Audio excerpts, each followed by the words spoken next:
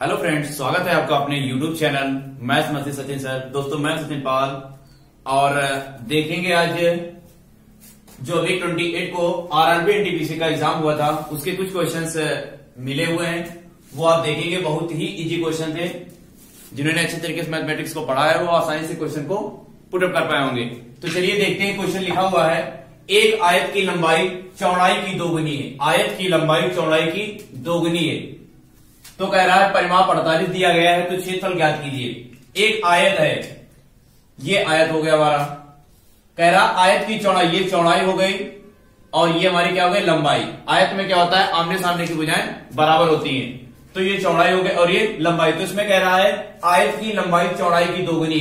तो चौड़ाई की दोगुनी तो माना चौड़ाई हमारी कितनी हो जाएगी? एक्स तो लंबाई कितनी हो जाएगी? दो एक्स परिमाप कितना दिया हुआ? अड़तालीस। तो परिमाप का सूत्र क्या होता है? यानी आयत के परिमाप का सूत्र होता है दो।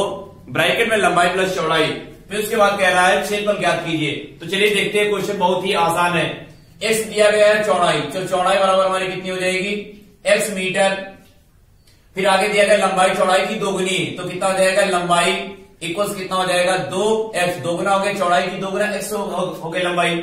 उसके बाद परिमाप दिया गया है। तो परिमाप बराबर परिमाप बराबर सूत्र क्या होता है? दो, लंबाई प्लस चौड़ाई। अड़तालीस परिमाप दिया गया है तो अड़तालीस लिख लेंगे अब क्या लिखा हुआ है? दो, लंबाई प्लस चौड़ाई। तो दो, लंबाई हमारी कितनी है? दो एक्स और चौड़ाई कितनी है? एक्स तो जोड़ेंगे, कितना जाएगा? तीन एक्स तो अड़तालीस, दो गुड़े कितना जाएगा? तीन एक्स तो काटेंगे तीन एक कम दो एक कम दो दो दिनी चार। चक्को आठ, तीन एक कम तीन तिरठ चौबीस। तो एक्स बराबर कितना हो जाएगा? आठ। तो इस प्रकार से एक्स बराबर कितना हो जाएगा? यहाँ पर आठ हो गया ये एक्स इक्वल से आठ और यहाँ पर हो जाएगा टू इंटू एट इक्वल कितना हो जाएगा? सिक्सटीन तो इस प्रकार से आयत की लंबाई और चौड़ाई निकल है। अब मैं पूछ क्या रहा था? क्षेत्रफल ज्ञात कीजिए। तो आयत का क्षेत्रफल। आयत का क्षेत्रफल इक्वल्स होता है लंबाई गुड़े चौड़ाई। तो लंबाई गुड़े चौड़ाई। लंबाई हमारे पास कितनी दी है? सोलह। और चौड़ाई कितनी दी है? आठ। तो गुड़ा करेंगे आठ एक सौ कितना होता है? अट्ठाईस। 128 आएगा। इस प्रकार से इसका जो आंसर आएगा, एक आयत की लंबाई और चौड़ाई कितना हो जाएगा? 128 हो जाएगा। तो चलिए देखते हैं दूसरा क्वेश्चन देखेंगे क्वेश्चन नंबर सेकंड दिया हुआ है, किसी धन का चक्रवृद्ध ब्याज पर दो वर्ष का मिश्र धन अड़तीस सौ चालीस रुपए है तो तथा तीन वर्ष का मिश्र धन चालीस छियानवे तो ब्याज की दर ज्ञात कीजिए। हमें कह रहा है ब्याज की दर, अर्थात आर हमें ज्ञात करना है। तो एक फार्मूला होता है एक फॉर्मूला होता है आर इक्वल्स यहाँ पर होता है ए टू अपान ए वन ऊपर होता है one upon T two minus T one minus का वन ये ब्रैकेट लग गया और इंटू में हंड्रेड क्योंकि ब्याज की दर रहा है तो दर हमारी किसमें होती है? प्रतिशत में होती है। तो हम यहाँ पर निकालेंगे, देखेंगे ए टू कितना दिया गया है। यहाँ पर दो वर्ष ये हो गया टी वन हमारा हो गया, और इधर ये हो गया ए वन हो गया, और इसके बाद में ये हो गया हमारा ए टू हो गया, और ये हमारा कितना हो जाएगा? टी टू हो जाएगा। तो फार्मूला होता है R equals A two upon A one one upon T two minus T one minus one equals hundred तो यहाँ पर आर इक्वल्स निकालेंगे ए टू की वैल्यू कितनी दी? है छियालीस सबसे पहले ध्यान रखना है कि जो बड़ा होता है उसको ऊपर रखेंगे और छोटा होता है वो नीचे रखा जाता है। तो ए टू अपान हो जाएगा ए वन तो इसकी वैल्यू यहाँ पर रखेंगे A two upon A two की वैल्यू होती है चालीस, छियानवे दी गई है। और यहाँ पर ए वन की वैल्यू दी है अड़तीस चालीस। अड़तीस चालीस और इसकी power one upon T two हमारा कितना दिया गया? तीन वर्ष और टी वन हमारा दिया गया दो वर्ष। तो क्या करेंगे? तीन माइनस दो माइनस वन और क्या हो जाएगा? हंड्रेड तो इस प्रकार से इसको जब कैंसिल करेंगे तो हमारा आ जाएगा इसको काटेंगे काटने के बाद में। इस प्रकार निकालेंगे तो हमारा आंसर आएगा बीस बटे तीन। प्रतिशत या इसको लिख सकते हैं, छह दशमलव तिछाक अठारह, दो बचेंगे, फिर से तिछाक अठारह, तीन, छह, सात। इसका ये भी आंसर हो जाएगा। ऑब्जेक्ट आपके दिए हैं, पंद्रह बटे दो। ए दिया गया है, पंद्रह बटे दो प्रतिशत, और बी दिया गया है, पच्चीस बटे तीन। पच्चीस बटे तीन प्रतिशत, और सी दिया गया है, बीस बटे तीन प्रतिशत, और डी आपका दिया गया है, डी आपका दिया आठ प्रतिशत। तो आप इस क्वेश्चन को आराम से सॉल्व करेंगे।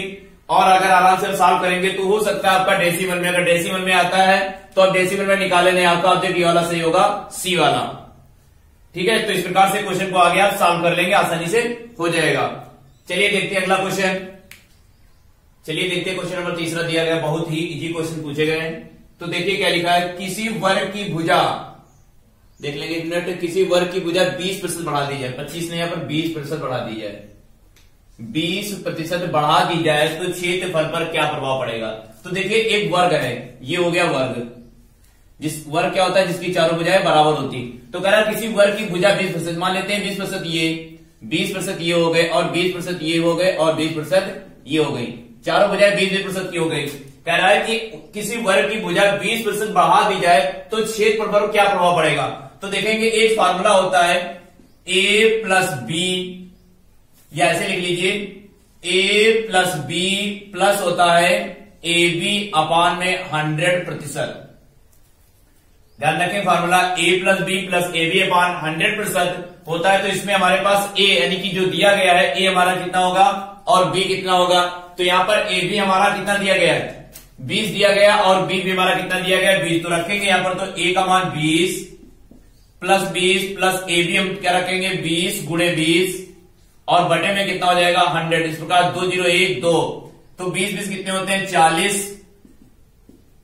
दो दिन कितना हो जाएगा? चार। तो प्लस में चार जोड़ेंगे तो कितना आ जाएगा? चौवालीस प्रतिशत। इस प्रकार से ये आंसर जो हमारा आएगा क्षेत्र पर प्रभाव पड़ेगा चौवालीस प्रतिशत का प्रभाव पड़ेगा। बहुत ही इजी क्वेश्चन पूछे गए हैं। ध्यान से देखेंगे फिर से किसी वर्ग की भुजा बीस प्रतिशत। तो एक वर्ग हमारा है, इस भुजा वगैरह बीस प्रतिशत अगर बढ़ा दिया जाए तो क्षेत्र पर क्या प्रभाव पड़ेगा?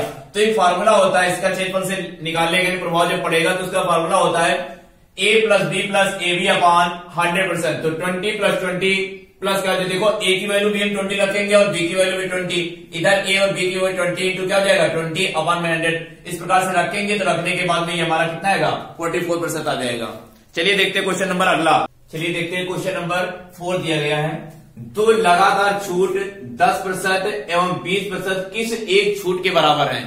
क्वेश्चन दिया गया है, दो लगातार छूट 10 प्रतिशत एवं 20 प्रतिशत की छूट के बराबर? ध्यान रखिएगा, जब 10 से 20 या 2 प्रतिशत यानी दो मान दिए हो, दोनों पर छूट पूछ रहा हो तो हमारे पास एक फार्मूला होता है इसका फार्मूला होता है या ए प्लस बी करके देखो एक हमने अभी पढ़ाया था ए प्लस बी प्लस क्या था? ए बी अपॉन हंड्रेड जब हमारे पास किसी क्षेत्र पर प्रभाव पड़ रहा था, तब हमने निकाला था।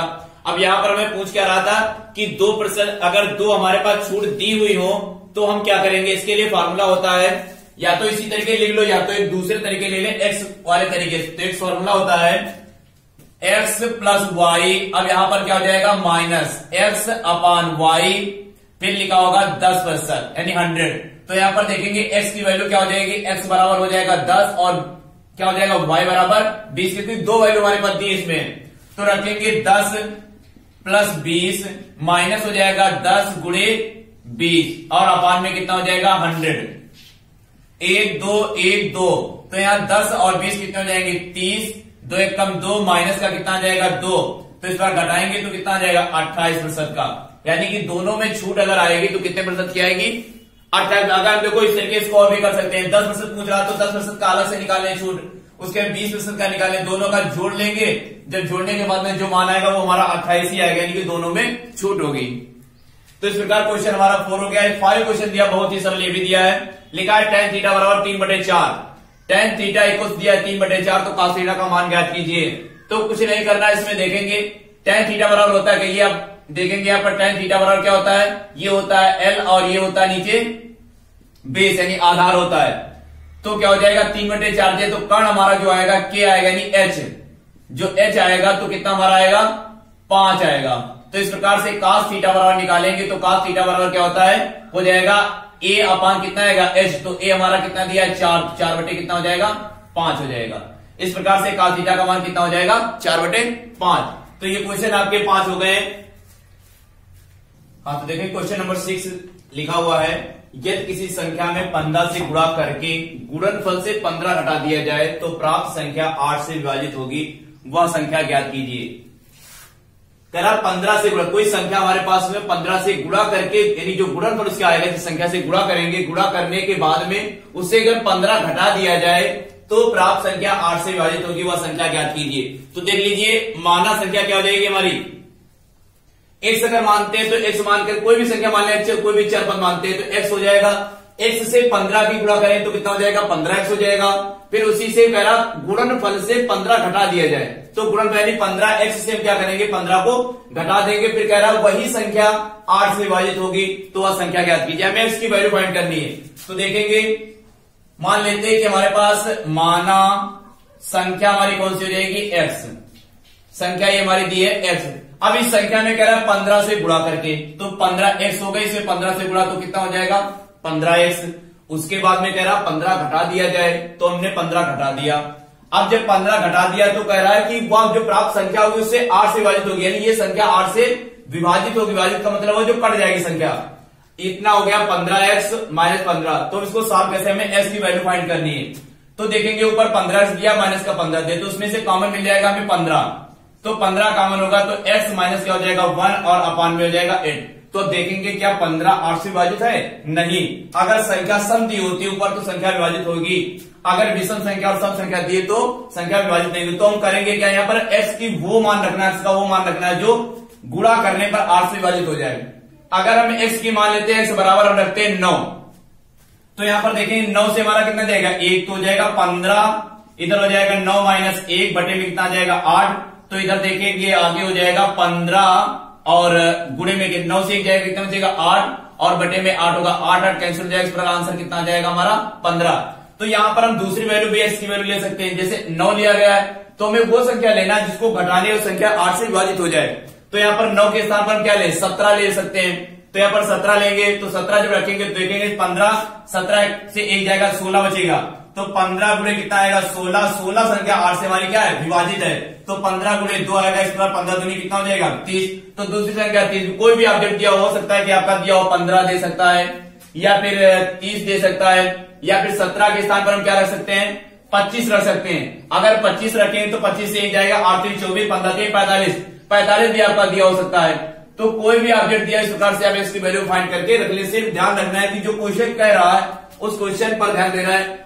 किसी संख्या में पंद्रह से तो हमने संख्या मान ली एक्स किसी संख्या में पंद्रह से गुणा करके गुणनफल से पंद्रह घटा दिया जाए।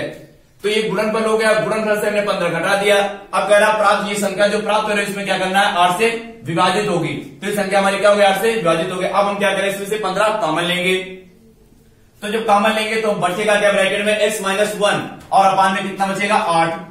तो अब क्या करेंगे? अब एस का अब तो पंद्रह जो हमारा दिया, वो आठ से विभाजित नहीं है। तो हम करेंगे क्या? यहाँ पर एस की वो वैल्यू रखनी है जो घटाने पर हमें आठ से विभाजित हो सके। तो हमने एस की वैल्यू मान लिया यहाँ पर नौ। तो जब यहाँ पर नौ रखेंगे तो कितना हो जाएगा? नौ से एक जाएगा। आठ यानी कि पंद्रह गुड़े आठ बटे आठ है तो आठ आठ ऊपर नीचे हमारा कैंसिल हो जाए तो उसका पंद्रह बचेगा। या फिर सत्रह रखेंगे सत्रह रखने के बाद में उसी तरीके निकाले तो तीस आएगा। पच्चीस रखेंगे तो पैंतालीस आएगा। इसी प्रकार आगे अगर बढ़ाते चलेंगे आप तो संख्या थोड़ी बड़ी होती चली जो भी अपडेट आपका है, वो आप ठीक कर देंगे।